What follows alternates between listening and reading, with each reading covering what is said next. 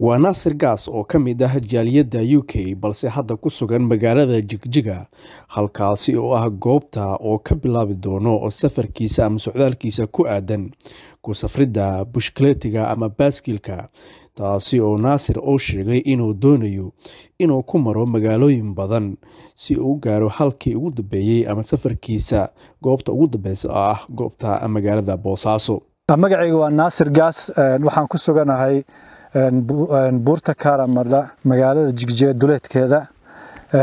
Waxaan u imid in aan safar maaragtay aada u dheer inaan ka bilaabo ay noqoto goobtan dhulka soomaaliyeed geyga soomaaliyeed. Waxaa fikirka igu dhaliyey waxay tahay wadanka aan ku noolaa ingiriiska in muddo aan ku noolaa ayaa waxay ka tahay iyo guud ahaan waddamada yurub hobby aad iyo aad maaragta loo xiiseeyo oo dad aad iyo aad u fara badan maalmalbana sii kordhaya magaranaysa ay isticmaalaan ay isticmaalaan wadan gudihiisa hadday shaqo ku tagaan ama ay hobby ahaan ma garanaysaa ay magaalo to magaalo ku safraan. Ilaa marka dambena gobol to gobol ama wadan to wadan ay u safraan iyo qaarad ka qaarad. Marka intaba waa soo sameeyey ingiriiska gudihiisa waxaan ku bilaabay toban kilomitr ilaa markii dambe aan magaalo to magaalo aan ka sameeyey ingiriiska aan markii dambena aan ingiriiskana ku soo wada dhameeyey markaasa haddana waxaan isiri haddii aan doonayo inaan another level aan qaado oo ah inaan wadan to wadan aan sameeyo maad ku samaysid maaragtay wadankaaga marka fikradda taasaa igu dhalisay. Haddana fikraddeeda waxaa moodaa inay ii hirgashay oo waxaan u sameynaya waxay tahay waa hobby oo aan jecelahay. Magaranaysaa qaybta sportiska ee cyclingka aan aada u jecelahay. Geyga soomaaliyeed aan garanaysaa quruxdiisa iyo hadda meeshan aan joogno aad ujeedaan bilicdiisa inaan maaragtay soo bandhigo aan caalamka tusiyo in wadankeenu nabad yahay geeska gees garanaysaa dhibaatooyin badan aan soo marnay kadib maantadan aan joogno inay tahay wadankeena meel nabad ah meel maaragtay qurxoon dadkooda wanaagsan yihiin dhaqankooda wanaagsan yihiin. Horta safarkayga ruudkiisa wuxuu noqonayaa buurtan oo aan ka bilaabo karamadha dowleedka jigjiga ah kadibna aan garanaysaa aan u kaco xagga iyo wajaale kadib garanaysaa boorame. Hadduu ilaahay karaal noqdo kadibna xaggan iyo aan ku soo noqdo hargeyso wajaale berbere aan waddada raaco ilaa iyo burca ilaa laasacaanood ilaa xagga aan wesi gudbo aan maaragtay xeebta badda ku dhammaado boosaaso insha allah. Marka meel walbo aan marana waxaan jecelahay inaan hadduu ilaahay karaal noqdo aan maaragtay soo muujiyo quruxda bilicda maaragtay dhaqanka wanaagsan ay dadkana leeyihiin. Sidii lagu yaqaanay martisoorka ma garanaysaa reermiiga noloshooda dadka magaalada noloshooda. Waxaasnaan rabaa inaan soo bandhigo aan caalamka tusiyo waddankan inuu yahay waddan nabad ah oo la maalgashan karo oo lagu soo hiran karo. Dadka waxay u arkeen markii aan arrintan soo bandhigay aan ku iri waxaan jeclaan lahaa maadaama aan diyaarsanahay oo aan ma garanaysaa doonaya inaan sameeyo cycling ma garanaysaa wadankeeni aan ku sameeyo ilaa kun iyo shan boqol oo kilomitr aan u soo bandhigay. Aad iyo aaday maaragtay ay ugu farxeen oo ayna uga heleen fikraddaas wayna garteen maaragtay muhiimadda ay yeelan karto safarka noocaas oo kaleeta ah. Naasir ayaa doonayay inuu noqdo shaqsigii ugu horeeyay soomaaliyeed ee sameeya safar noocan oo kale ah maadaama aan horey loo soo warin shaqsi sameeyey sidan oo kale naasir ayaa sidoo kale wuxuu dhiirigelin ka helay qaar ka mid ah ganacsada soomaaliyeed oo asagu sheegay inay ku dhiirigeliyeen socdaalkiisa. Cabdirashiid maxamed nuur cabdirashkiin fersal t v london. Waxaan go'aansaday inaan maaragtay waddan to waddan aan sameeyo. Marka waxaan isiri haddaad go'aansatay waddan to waddan oo yurub gudahooda intaad samayn lahayd waxaa lagu qaatay dhulkii hooyo inaad ku samayso. At the same timena maaragtay aad maaragtay dalkii ku soo barato mideeda kaleetana maaragtay aad ka soo warbixiso wadankii iyo dadkii. Annagu qurbahan ku raagnay soomaalida badankeedana qurbaha way ku raageen. Ilaa soddonkii sano ugu dambeeyey qurbaha la deganaa. Wadankii waa la hilmaamay dadka badankooda. Wadankii waxaa laga aaminsan yahay qaladaad badan. Waxaa loo haystaa meel maaragtay dadka lagu qasho bahallagaleen ah oo ma garanaysaa aan la tegi karin. Meel fool xun meel dhib badan meel qaab daran. Marka waxaan rikoor garaynaynay wadanka sida uu wacan yahay sida uu qurxoon yahay sida barwaaqo u tahay sida nabad u tahay. Dadku say u wanaagsan yihiin dhaqanka wanaagsan maaragtay in weli soomaalinimadii ay nooshahay marka waxaan rabnaa inaan beenno fikirka qaldan ay dadka aaminsan yihiin wadankii marka intaan soo soconnay ilaa haddeertaan waxna wanaajiyi mooy waxna dhiba arag waxaan filaynaa aan aaminsan nahayna ilaa aan ka gaarayna meesha ugu dambeyso. Sidaa isi la mid ah waxna wanaajiyi mooy waxna dhiba inayna arag. Ilaa idankii waxaan ku weydiinayaa dadka soomaalida way qariibsanayaan inoo dee laamigan madow gaari mara uun bay arkeen. Baaskiil la dhinac celiyo gawaarida. Ma ay arag. Marka dadka ma idin qariibsadaanoo baadiyaha markaa maraysaa meeda istaajiyaanoo war xaggee u socotaan. Wallah horta niyo dadka soomaalida waa dad hadal ku nool ah. Waxaa cajiiba aan la yaabanahay waxaan ku nimid mar. Oday la jooga maaragtay meel cidla ah xoolo raacanaya marka laamiguu noo istaajiyey wuuna joojiyey. Markaasuu yidhi war maynimadii baa tihiin halka ka soo bilaabay socdaalka. Waan yaabay. Waxaan idhi adeero xaggee naga maqasha tvna ma lahan korontona ma lahan meeshan. Xaggee see war kuu soo gaaray. Raadii dhegta u surnaayo ii soo saaray kanaan kaa maqlay buu yidhi. Marka dadku waa war ku nool.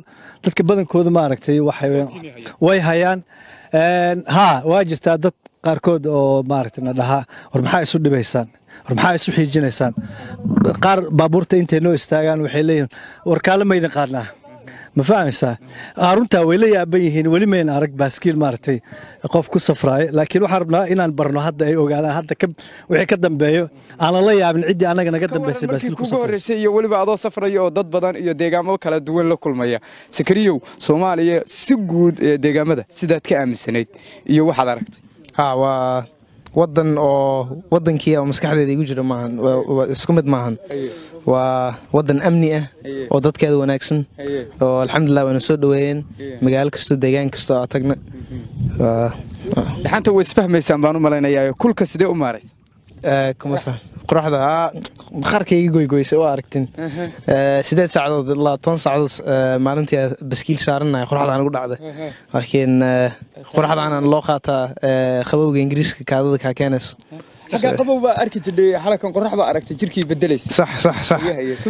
Wanaagsan. sax sax. Waa tan baa wanaagsan. Waa waa soo madow aada wallahi waa soo dhalaalay. Caano ma cabtay caano fresha caanageel haa. Oo waa markii igu horeysa aan caanageel cabay markaa waddanka imaaday oo weli. Oo fresh weliba. Waa waa badarkii oo fresh oo hilib fresh oo maalin kasta la cunayo waa inaaba noqdo mabarbi waxa inaad noqdid inaad noqotid ma rabtid? Mabarbi haye waad joogaysaa habeen hore hooyaa teleefonka kula hadlaya waxuu sheegaya waa inaa ilmihii waddanka keentaa intaas ka degno. Sanad aas ka degno. Ingiriiska waxma noo yaalo. Cudurkiibaa soomaalida kala dhameeye. Qoraxdaana loo qaataa wadankaana loo qaataa inaas ka joogno. Arrinta ugu muhiimsan ee adiga aad la yaabtay oo aad aragtay maadaama waddanku ugu cusub yahay maxay tahay nin xoolo raacinayo oo laba tiro ari raacinayo oo mid ka mid ah ari kasto magac bay leedahay. Ee magaciisa markaa u wacdid way ka soo fiirinaya waa waalinimo waalinimo ay tahay. Yaad bay kugu noqotay arrintaas sax. Waagii hore markii soomaaliya hooyo iyo dadkii waagii hore waddanka ka yimi ay ka sheekeeyaan ay ka sheekeeyaan maxaad la yaabi jirtay? Waxaad odhan jirtay dhulkaasi waa dhul laysku cunumiyaa maxaad ka aaminsanay waa waa saas. Waa meel oo dadka lagu ciqaabo. Naasir gaas. Ninka dhalinyarada la socdana waa zakariye cabdiqaadir yuusuf. Safar dheer ayaan waxaan ka soo bilownay jigjiga. Maanta waa maalintii siddeed tobnaad. Hadda waxaan ku sugannahay garow aan hadda soo gallay waxaa soo bilaabday waxaa soo dhammaaday laba meelood safarkeennii marka hal meel baa noo hadhay oo aan ka ambaqaadi doono halkan haddii ilaah kala noqdo garowe oo aan u dhaqaaqi doono dhinaca iyo boosaaso oo ah lugtii ugu dambeysay. Marka ilaa hadda waxaan soo jarnay kun kilomitir. Waxaa noo hadhay ilaa iyo shan boqol oo kilomitir. Marka waa ku faraxsannahay inaan soo gaarno caasimadda maxaan ku dhaha dowladda puntland ee garowe ka waran safarkaagii dheeraa aan la soconay isku soo jijiga xalay oo kale habeen bay nagu noqotay xalay ka hoyatay xalay waxaan ku hoyanay tukaraq. Ka horna waxaan ka soo baxnay laascaanood ka horna burco. Marka habeenba waxaan u hooyanaynay magaalooyinka waaweyn. Marka ilaanu ka soo gaarnay hadda garowe marka intaa safarka aan soo soconnay wax dhiba aan la kulannay ma jirto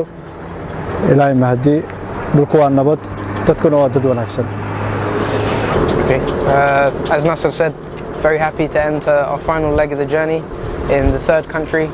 Uh, we crossed the border this morning, and uh, yeah, we're going to take two days of resting, sleeping, and eating, and uh, we'll be right back on the road for the remainder of the journey. There's only about uh, 440 kilometers exactly, I think, left until we get to Bosaso. So uh, it's a shame it's ending so soon because we've really enjoyed it. So uh, gonna savor this last bit. ku safraayay baaskiil ayaa socdaalkiisa ka soo bilaabay magaalada jigjiga ee xarunta dowlad deegaanka soomaalida etoobiya muddo shan iyo labaatan cishaha ayuu safar dheer oo uu ku soo maray meelo badan oo ka mid a dhulka soomaalida. Ugu dambeyntii waxa uu maanta soo gaaray magaalada boosaaso. Naasir oo lagu soo dhoweeyey duleedka magaalada boosaaso galabta ayaa sheegay inuu ku faraxsan yahay in kun iyo shan boqol oo kilomitir uu ku maro baaskiil uuna ka dhabeeyo yoolkiisi ahaa in masaafada intaas la eg uu baaskiil ugu safro. Safar dheer oo jigjiga ka soo bilowdo aad la socoteen oo maanta ay ii tahay shan labaatan cisho. Waan halkan ku soo gaaray. Ayaan waxaan ka soo bilaabay jigjiga oo uu ahaa finishing linekiisana boosaaso. Marka si haddii loo eego waxay isugu jirtaa laba dareen. Dareen farxadeed oo maaragtay inaan gaaro hadafkaygii oo ahaa kun iyo shan boqol oo kilomitir. Boosaaso aan ku gaaro. Si kalena haddii loo eego waan ka xumahay inuu maaragtay safarkayga istaagay.